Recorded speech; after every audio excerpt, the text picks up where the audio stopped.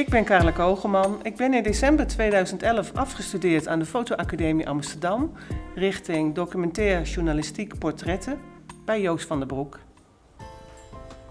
Ik werk regelmatig in opdracht. Die probeer ik dan dusdanig naar mijn hand te zetten dat ik mezelf er wel in herken.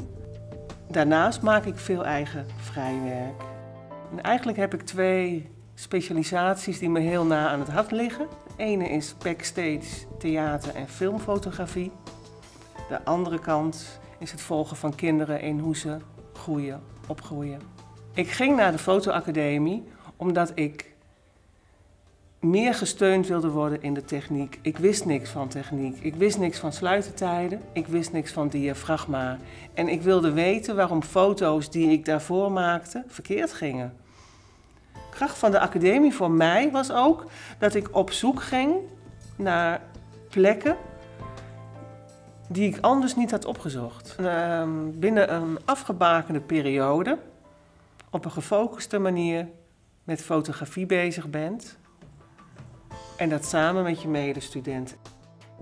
Juist binnen de beschutting en bescherming van de fotoacademie, van de groep waarbinnen je zit, kan je gewoon op zoek gaan naar je eigen, naar je eigen passie, naar je eigen verhaal. En daar gaat het over. Ik zag het inderdaad als een speeltuin. Van, ik ga, ga het gewoon proberen. Van, uh, je kan gewoon op je bek gaan.